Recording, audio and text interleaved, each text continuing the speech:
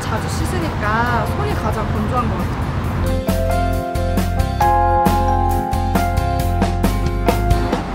핸드크림을 자주자주 발라주는데 요즘에는 손에 씌우는 핸드 마스크 같은 제품도 있더라고요.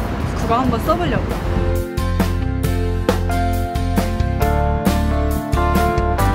길고 얇아서 악세사리가 좀 잘 어울리는 손인 것 같아요.